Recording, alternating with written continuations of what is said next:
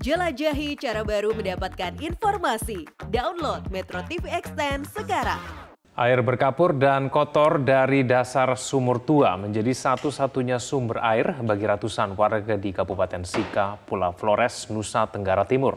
Lebih dari satu bulan krisis air bersih melanda setelah air PDAM tidak lagi mengalir imbas kemarau. Mata air Wairpuan ini menjadi harapan warga dari tiga dusun, yakni Dusun Natarita, Dusun Natarleba, dan Dusun Pura Begor di Desa Darat Gunung Kabupaten Sika. Warga susah payah membersihkan sumur tua yang dipenuhi lumpur dan kadar kapur tinggi untuk mengais air.